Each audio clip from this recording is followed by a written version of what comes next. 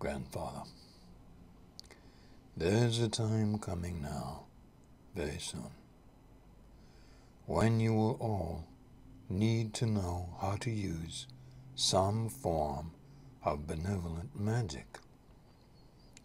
You can find a blog by clicking upon the Explorer Race link for this site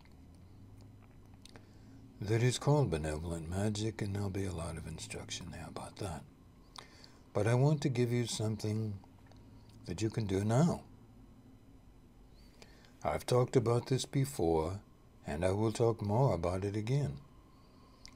But I'm going to give you something right now that you can do to support yourself with a form of magic that works with all life and not against anything or anyone, and works within the context of the natural world, that being what is around you, what has been created, what is uh, part of uh, nature, eh? So, first off, if you can, I'd like you to go out on the land, even if it is some land adjacent to your home, or further out in the country if you can. And just spend a few time, oh, maybe uh, five minutes, ten minutes walking around, or longer. Take a hike with a friend if you want. Then, when you get to a place where you feel personally comfortable, and uh, ideally where there's not too many other people around, but just you there with nature. If you're there with a friend, have them stand off at a distance. All right, at least 50 to 100 feet away from you. But they can be within sight of you. Though while you're doing this, I recommend that they not be looking at you, though they can generally be looking in your direction, but it would be better for them to look at the trees, the clouds, the animals, the plants, like that. So, this is what I recommend you to do first. First, ask out loud for all the most benevolent energies, guides, teachers, spirits, angels, and uh, other forms of benevolent spiritual life to be all around and about you in the most benevolent way for you now. Try to use those exact words.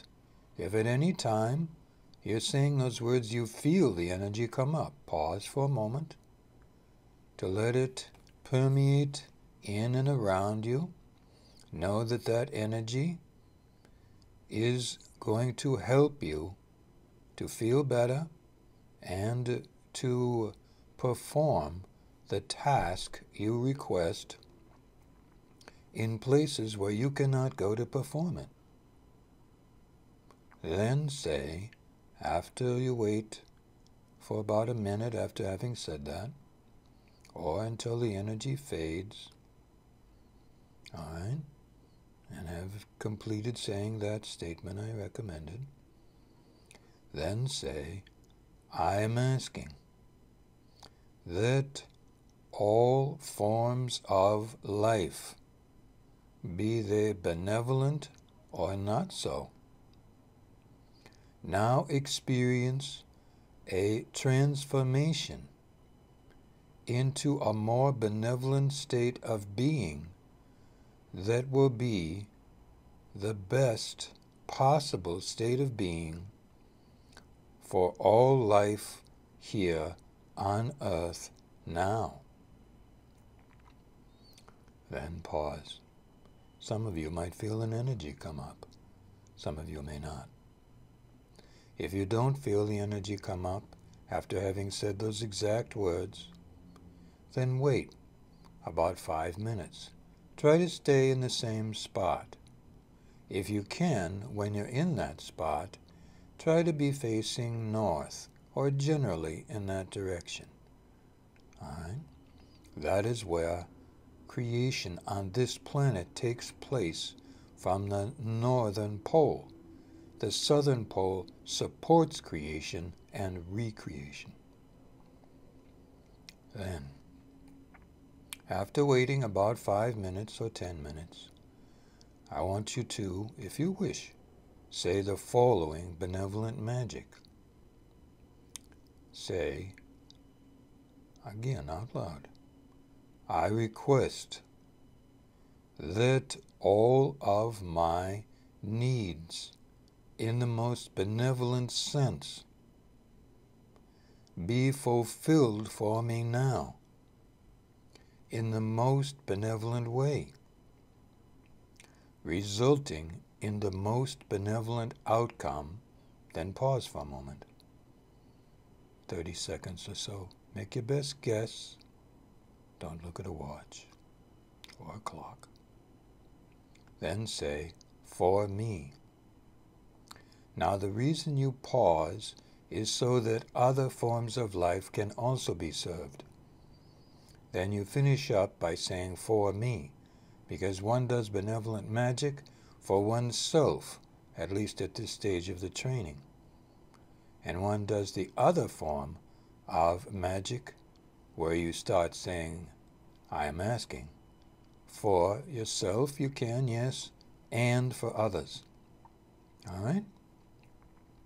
Then just wait after you have said that. If you feel the energy come up, okay. Just wait, even if it comes up strong during your saying the words, pause until it fades a bit, then finish the words. Always follow that procedure. The energy is coming up to help bring about what you have requested. I might add, this will only work in ways that are benevolent.